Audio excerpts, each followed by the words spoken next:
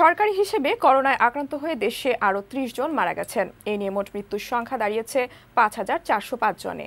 গত চব্বিশ ঘন্টায় দেশের একশো নয়টি ল্যাবে বারো হাজার তিনশো পঁয়তাল্লিশ জনের নমুনা পরীক্ষা করে নতুন আক্রান্ত রোগী পাওয়া যায় এক হাজার চারশো নিরানব্বই জন। ফলে এ পর্যন্ত মোট আক্রান্তের সংখ্যা তিন লাখ একাত্তর হাজার ছশো একত্রিশ জন।